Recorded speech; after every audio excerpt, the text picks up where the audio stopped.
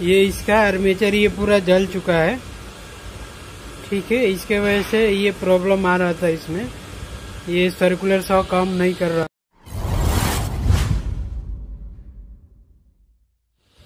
Hello दोस्तों, आपको electrical लतेंद्रा में स्वागत है। तो दोस्तों, मेरे पास एक माकिता कंपनी का, अरे, से बोस कंपनी का, ठीक है, ये सर्कुलर सॉ आया है। इसको हम गाँव के भाषा में वुडन कटर भी बोलते हैं। तो इसमें यही प्रॉब्लम है कि इसके अंदर का जो अर्मेचर होता है, वो ख़राब हो चुका है कुछ इस तरीके से। ये देख रहे हैं? तो इसी तरीके का इसका अंदर जो अर्मेचर है, वो जल चुका है। इसके वजह से क्या हो रहा है कि बहुत ज़्यादा स्पार्क आ रहा है और जो कार्बन ब्रश डाल रहे हैं, वो टूट जा रहा है। ठीक है? मतलब मैं अभी नहीं डाला, मैं चेक किया तो पता चला कि इसका अर्मेचर खराब है। लेकिन ये जिसका बोस है, ये सर्कुलर सॉ है तो वो अगर चेंज किए थे तो एक बार तो वो टूट गया। तो इसके वजह से ये लाए हैं मेरे पास। तो मैं चेक किया तो पता चला कि इसका आर्मेचर खराब है। तो मैं आगे आपको वीडियो में चेंज करके दिखाऊँगा कि इसका जो आर्मेचर होता है, कैसे चेंज करते हैं सर्कुलर सॉ का। ठीक है? तो उसके लिए वीडियो में आगे बढ़ने के लिए, बढ़ने से पहले एक आपसे रिक्वेस्ट करूँगा कि अभी तक मेरे इस चैनल पे नए हैं और अभी तक सब्सक्राइब नहीं किया तो प्लीज़ सब्सक्राइब करें शेयर करें। उसके बाद से बेल आइकन पे क्लिक करें ताकि मैं जो भी वीडियो अपलोड करूँ, उसका नोटिफिकेशन सबसे पहले आपको मिले। तो दोस्तों, ये बोस कंपनी का है। इसका मॉडल नंबर है जी के एस सेवन इसका ये मॉडल नंबर है।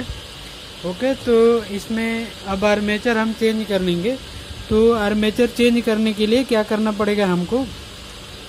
कि पहले ये दोनों को ओपन करके बाहर निकाल के यहाँ से कार्बन ब्रश निकालना पड़ेगा।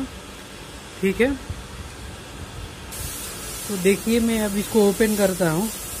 ठीक है? ओपन करने के बाद क्या करेंगे कि इसका अंदर जो कार्बन ब्रश है, उसको हम रिमूव करेंगे। यहाँ पे दो स्क्रू होता है, दोनों को ओपन करना पड़ेगा। ठीक है? क्योंकि अगर नहीं ओपन करेंगे तो ये क्या होगा कि इसके अंदर जो अपना ये रहता है, अरे कार्बन ब्रश होता है, अगर आप रिमूव नहीं करेंगे पहले तो वो क्या होगा कि टूट जाएगा। तो इससे अच्छा रहेगा कि पहले आप रिमूव कर लीजिए इसको, ठीक है? तो इस तरीके से इसको हम रिमूव करते हैं, ठीक है? तो ये निकल जाता है आराम से इस तरीके से, ठीक है? तो इसको रिमूव करके, उसके बाद अब क्या करेंगे कि हम इसका जो चार स्क्रू है, एक, दो, तीन और एक इधर है चार। चारों स्क्रू को ओपन करेंगे। ओपन करेंगे तब जाके ये अपना ये बाहर आ पाएगा। तो मैं अब इसको ओपन करता हूँ। तो देखिए दोस्तों मैंने सारा स्क्रू को ओपन कर दिया। अब इसको निकालूँगा। ये इजली तरीके से ऐसे निकल जाएगा। अब इसको निकाल रहा हूँ। ठीक है। देखिए ये इसका आर्मेचर ये पूरा जल चुका है। ठीक है, इसके वजह से ये प्रॉब्लम आ रहा था इसमें। ये सर्कुलर सॉ काम नहीं कर रहा था, चालू भी नहीं हो पा रहा था, क्योंकि ये पूरा इसका जो सप्लाई देता है, इसके अंदर आर्मेचर का, वो खराब हो चुका था। ठीक है तो देखिए, ये पुराना वाला है।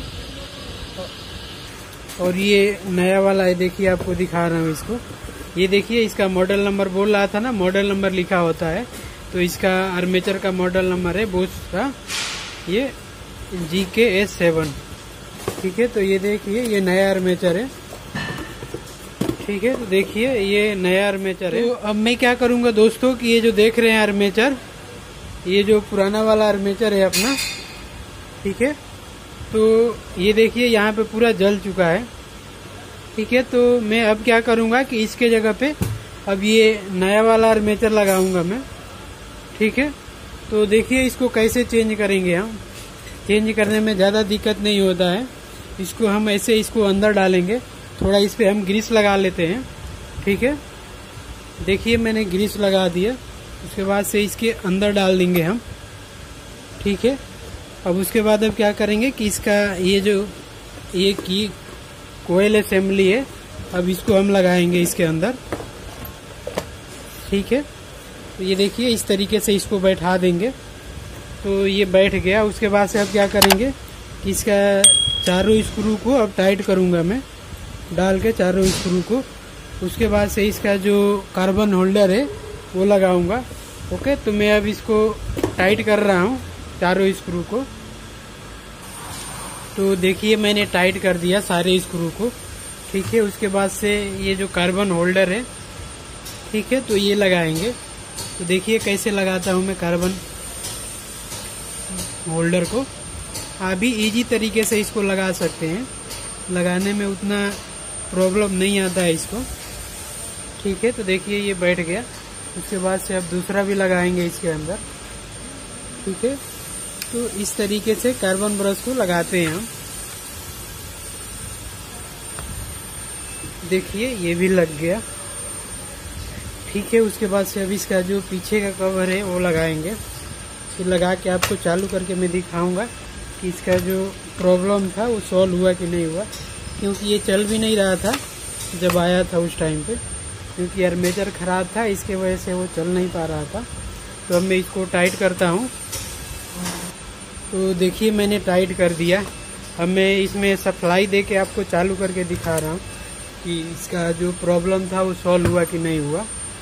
तो देखिए, मैंने इसमें पावर सप्लाई दे दिया। अब आपको चालू करके दिखा रहा हूँ तो मैं चालू कर रहा हूँ अब।